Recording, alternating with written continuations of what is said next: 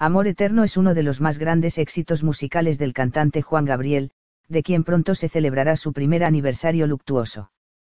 Cada una de las composiciones del creador de otros temas como Querida y Abrázame muy fuerte tienen dedicatoria, y mucho se ha dicho que Amor Eterno la compuso a su madre, también a un hijo que perdió Rocío Durcal, quien fue su amiga e intérprete musical, y otra versión más cuenta que la escribió a quien fue un gran amor en su vida.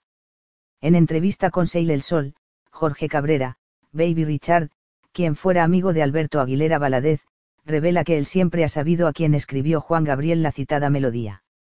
Conocía a su secretario, Luis Alberto, él tenía muchos recuerdos de Juan Gabriel, entre ellos la canción Amor Eterno, y me contó que tenía una pareja, la cual murió de cáncer.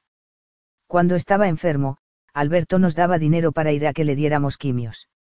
Un día nos fuimos a Acapulco, y allí murió Luis, quien era pareja Alberto. La canción originalmente se llamaba El más triste recuerdo. La entrevista puede verse a partir de 41 minutos con 30 segundos.